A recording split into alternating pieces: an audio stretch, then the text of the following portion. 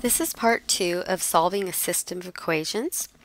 Part one began with an overview of system of equations and a word problem was presented and from that word problem these two equations arose.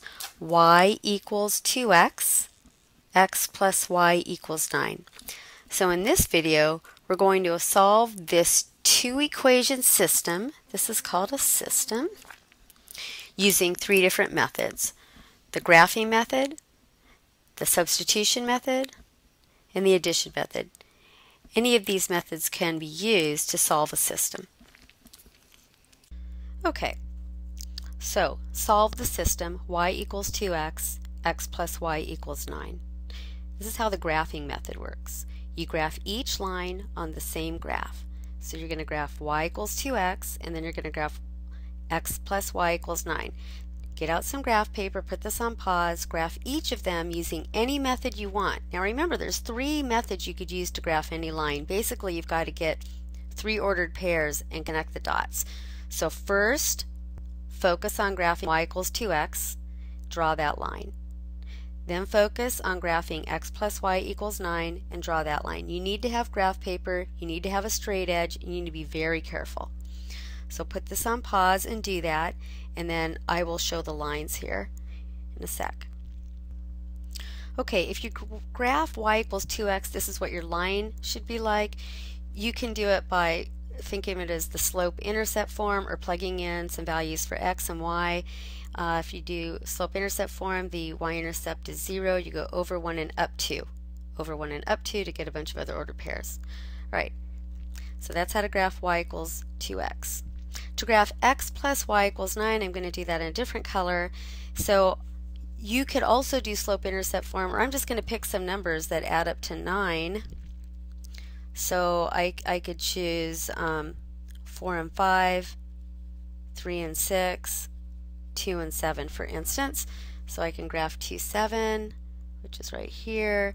I could graph 3, 6, which is right here. And I can graph um, 4, 5, which is right here, and then when you connect those, you get the other line.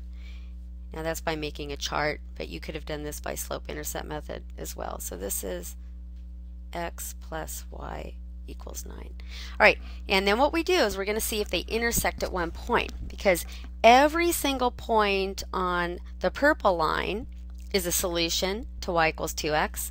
Every single point on the green line is a solution to x plus y equals 9, and there's only one point that is on both lines, and that's the point of intersection right here.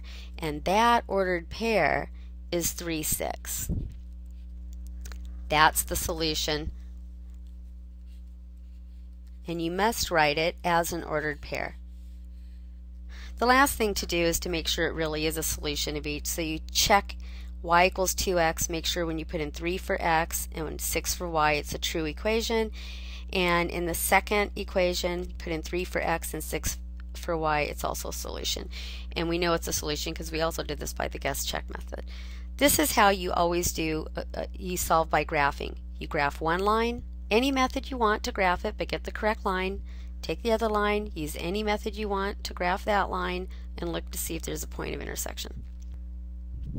Okay, here's another more algebraic, less graphical method of solving the system. It's called substitution.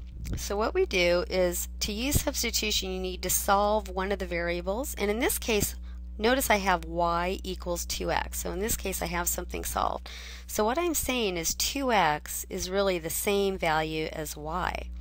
So I'm going to plug in 2x in for y in the other equation. So this gives me x plus 2x equals 9. 3x equals 9. Divide by 3, x equals 3. Now, you don't leave your answer as x equals 3. Remember, we're looking for an ordered pair solution. So I know what x is so far. I've got x. You go back up to where you did the substitution. Sometimes what I do is I put a little star by there so I know where I substituted and then I'm going to go say well if y is 2x and now I know that x is 3 I'm going to plug in 3 for x so that I can now also find out what y is. So now I know y and I know x. The last step would be to write this as an ordered pair solution. Remember the x coordinate goes first, the y coordinate goes second, and again I get the answer of 3, 6. You also check it to make sure this solution, that ordered pair is a solution to y equals 2x and x plus y equals 9, just in case you might have made a mistake. That's called substitution. The third method is called solving the system by using the addition method. You will also see it referred to as the elimination method, and I'll explain why in a minute. Here's how the addition method works. You want to write each equation in the form ax plus by equals c. So you want the x term, then the y term on one side of the equation equals just the constant on the other side. So that's your first step. You want to write this as negative 2x plus y equals 0 in this case. And this other one is already in that form. x plus y equals 9. First thing you do is look at the equation and see if you were to add the part on the left, would one of the variables be eliminated? In other words, if they're opposites, like if there was a a negative 2x and a plus 2x, or if there was a y and a negative y. And in this case, it wouldn't work if you added what's on the left, you would get negative x plus 2y. You wouldn't be eliminating a variable. All right, so what we want to do is multiply one or both of the equations by something so that either the x terms will be opposites or the y terms will be opposites. If any time two of the terms are the same, so in other words they both are y, you just need to multiply one of them by a negative 1. And it doesn't matter in this case which one you multiply by negative 1. So let's say I'm going to take the top equation. All right, I'm going to rewrite it over here again. Negative 2x plus y equals 0 and x plus y equals 9. Let's say I take the top equation and I multiply both sides by negative 1. I get a new equation. Oh, this is very important. Do not write equals. You have to put, this means implies, it's, it's like two bars and an arrow going to the right. This means this is the same as 2x minus y equals 0. Remember, negative 1 times 0 is still 0. And I'm going to leave this equation alone.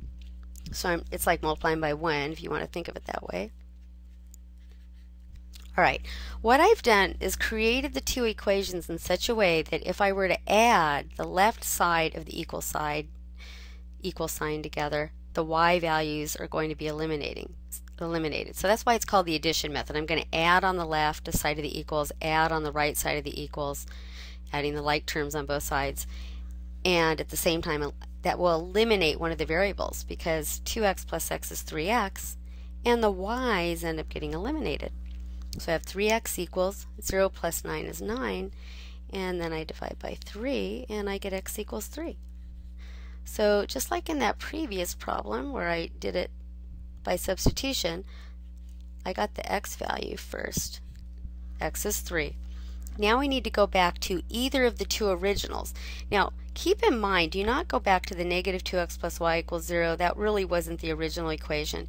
You're going to go back to either y equals 2x or x plus y equals 9 and it's called back substituting. You're going to put the 3 in for x to solve for y. So you could put it either in this first equation or the second equation. If I put it in the first equation, you get y is 6, right? If you put it in the second equation, you get y is 6. It really doesn't matter which equation you put it in. And so the solution here is the ordered pair 3, 6. Again, you want to make sure you write it as an ordered pair. Now there are different ways of getting uh, the variables to be eliminated. Instead of multiplying the top equation by negative 1, I could have multiplied the bottom equation by negative 1 and it would have looked a little bit different as I solved it, but I would still get x equals 3. Okay, so that's a basic overview of the three methods we're going to um, be practicing in order to solve a system of linear equation.